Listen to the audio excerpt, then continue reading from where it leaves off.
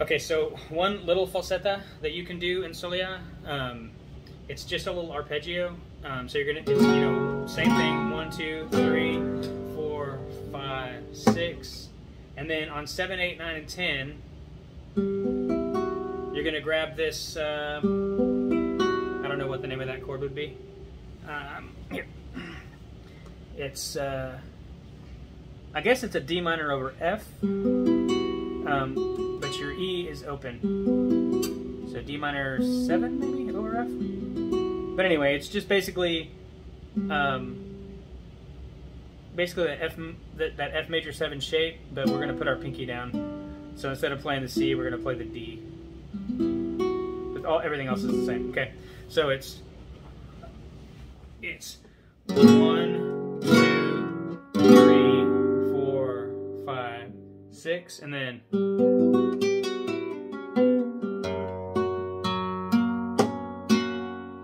So one, two, three, four, five, six, seven, eight, nine, ten. I don't know if I can count it, count it at the same time.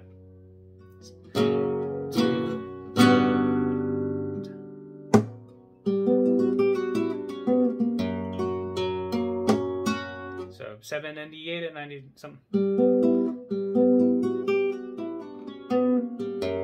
Okay, so you're to grab that chord, and again, it's arpeggio. So it's pink thumb, index, medium, mi- middle, and ring. With the with your index finger off. Okay, so you hold the chord down, and then so F and E, F, and then legato for E.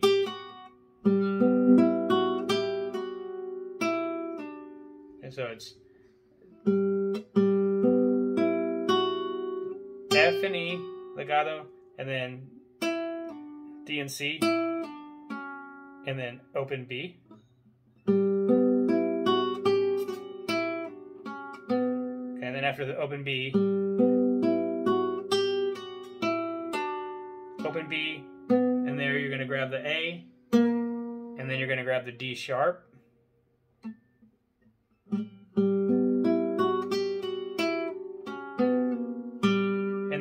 Thumb, you're going to catch that F. And then open to E. Okay?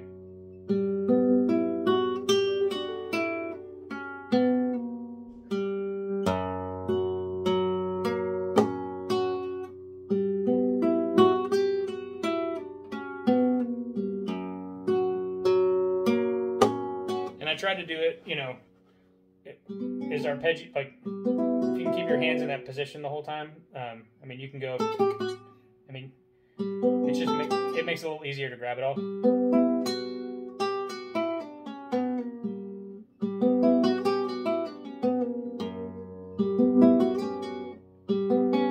Sorry.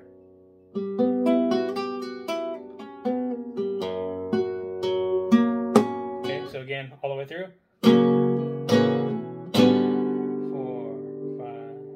Six.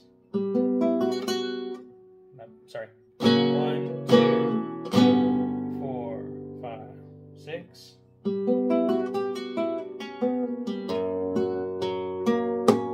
Okay, my left hand, my right hand was off, but that's the basic gist. One, two, three, four, five.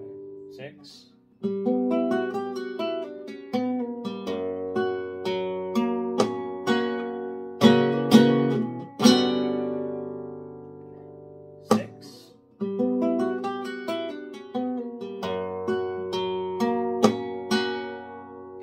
That's a that's another variation of just the basic compás, just with a little spice at the end of it.